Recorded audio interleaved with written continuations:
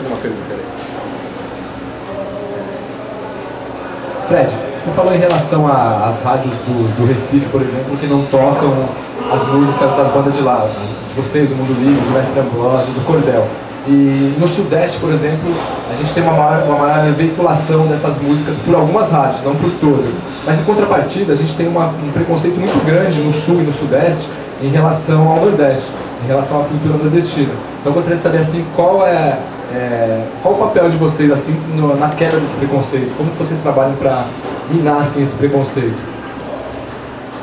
Bom, velho, é, o, tem uma coisa curiosa assim que que é engraçado, porque pouco antes de, de, de, lançar o primeiro disco, de gravar, de ter lançado esse, esse texto aí, que foi publicado no, da, da, Caos e tal, no Encarto, isso foi em 94 saiu isso, né?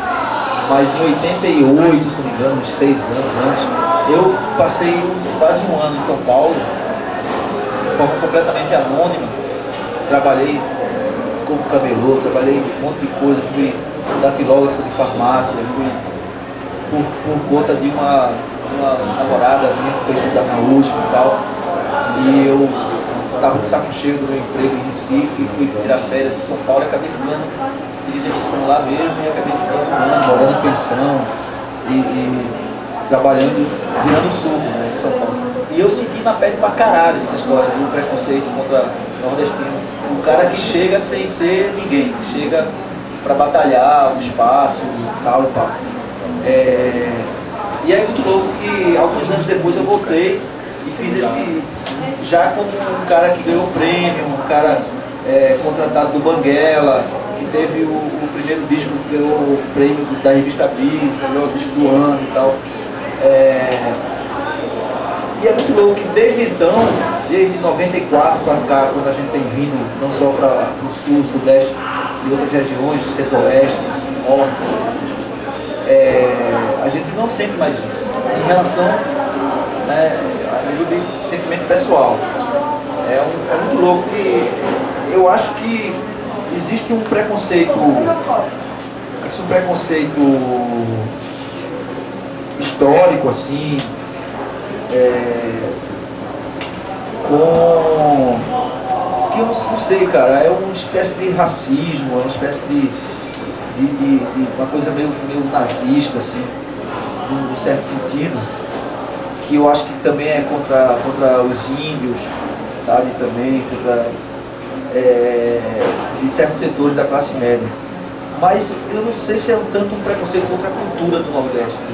Porque como na medida que você chega como um artista do Nordeste, você chega mostrando uma, uma, uma, cultura diferente, eu me sinto, pelo contrário, às vezes eu acho, como o Chico Sá dizia, que ele ia para alguns shows, às vezes, ou, ou do Neste Ambrose, por exemplo, de São Paulo, e ele já estava ficando já meio irritado, porque algumas pessoas tinham uma, um sudeste, assim tal, uma relação quase como se fosse de culpa. É, é num certo setor da classe média paulista, as pessoas vão para show do Mestre Ambrosio ou do Antônio Nobre ou de outros assim tal, do Maracatu, eles vão dançar a culpa, ou vão, espiar, expurgar a culpa de ter acabado com a cultura brasileira. Assim. Sabe como é? Ou então é uma espécie de nostalgia do, do, do lado selvagem do Brasil e tal. Então, é, eu não sei se tem tanto preconceito contra, contra a cultura a musicalidade nordestina. É, e é muito engraçado, uma menina também que, que eu conheço que é compositora, Tânia Cristal, eu me lembro que na década de 80 ela veio tentar a sorte em São Paulo como compositora e chegou a gravar um compacto.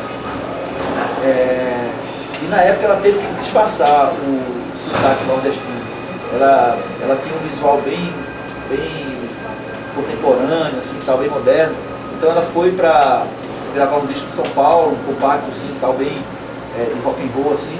E ela, meu MPB, meu rock and roll, e ela disfarçava, não, não, não, falava que era pernambucana e disfarçava o sotaque. Tentava disfarçar pelo menos, porque ela notava que existia um, uma, uma, uma, uma coisa travada assim, em relação, principalmente a quem fosse fazer uma música mais moderna com sotaque pernambucano. E ela depois foi morar na França, montou uma banda bem bacana, gravou disco em Paris e tal, e voltou para Recife um tempo atrás, já depois eu ouvi falar que tinha rolado toda essa história do Mangue, chegou a acompanhar toda a, a turnê de Chico Sainz na Europa e viu foi, foi um, pipoco mesmo, assim, tal, viu a repercussão de tudo isso a nível internacional. Aí ela, porra, Fred, foi incrível, cara. Depois eu, hoje eu chego em São Paulo e eu, às vezes até para as mesmas pessoas com quem eu convivia naquela época, as pessoas ficam pedindo para eu falar com sotaque, porque parece que virou moda, um certo circuito. Ah, as pessoas acham lindo cantar com sotaque, a coisa do sotaque. Eu acho que tem uma coisa meio ambígua. Um lado meio de. que eu ainda sinto nos setores da burguesia paulista, mais do que no Rio, inclusive.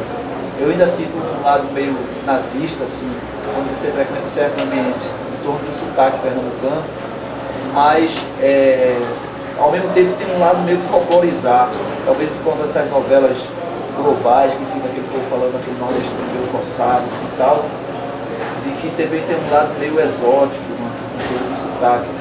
Eu acho, eu acho até hoje eu não, não sei ter uma conclusão muito sobre isso, eu acho meio ambíguo, assim, a forma como, como essa cultura nordestina é recebida.